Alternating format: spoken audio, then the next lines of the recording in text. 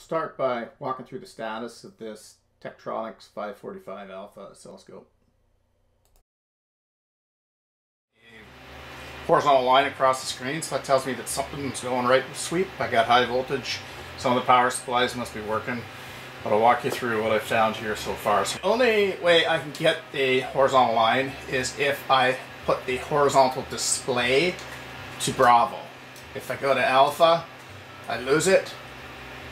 So that's uh, one little problem I have. I, I, don't appear to be able to get any vertical deflection. As I said, I got 20 volts peak to peak going in here from the function generator, from the HAMEG function generator, and uh, not getting any vertical deflection.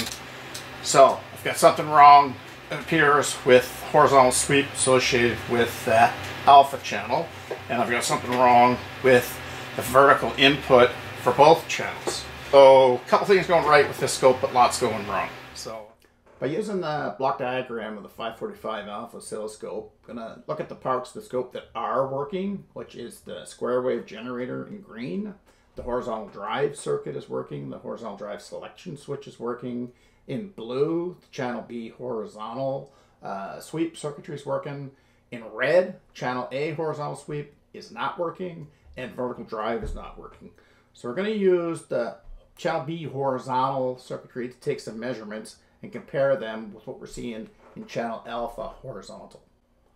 So we'll start by looking at channel Bravo horizontal and we'll look at the output from the sweep gating multivibrator and the output from the Miller run-up circuit. So channel B time-based generator, I'm going to try and measure output from the Miller run-up amp, which is essentially which goes off to the horizontal deflection plates. And then I'm going to go back and I'm going to take a look at the output from this multivibrator, from this oscillation circuit on. So we'll take a look at both the uh, uh, both signals on the uh, on the uh, yeah. B By adjusting the B time base on the scope. See, I adjust the timing of the horizontal trace. See if we can slow it right down. It's like a heart monitor kind of there, isn't it? Okay. Again, if we slow down to 2465 to look at this. B sweep looks healthy. Now knowing what to look for, we tackled the uh, horizontal sweep on the A channel uh, and measured the output from the multivibrator as well as the Miller run-up circuit. And in both cases, I got no signal.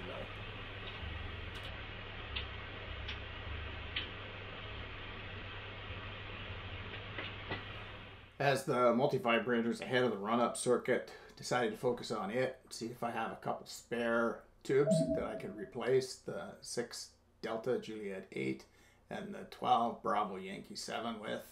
I've got a couple other old Tektronix scopes. I've got this 581, which I also hope to uh, get going, so I'm not going to steal from it.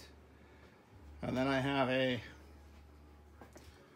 315 Delta, which is another era going backwards. This takes you back to the early 50s. This one, unfortunately, doesn't have a cathode ray tube on it, so this really is just a parts machine. And it's got both a 12 Bravo Yankee 7 and it has a tube in here that uh, says 6 Delta Juliet 8 on it. So I'm going to take both those tubes. So I started by replacing the 12 Bravo Yankee 7. Uh, no change. The A sweep still did not work. Then I replaced the 6 Delta Juliet 8 and the uh, scope uh, A sweep did start to work.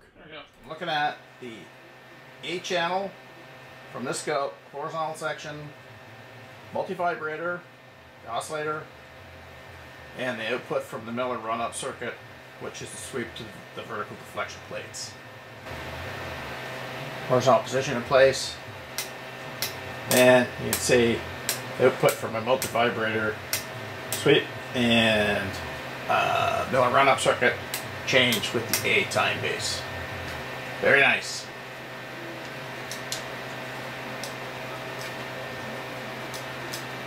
Now B, also looking good right now. You can see the B time circuit although I'm not hooked up on the oscilloscope, B time circuit is working rather nice too. I can uh, slow it right down, B, and flip over to A, slow it right down to A. Both time circuits seem to be healthy.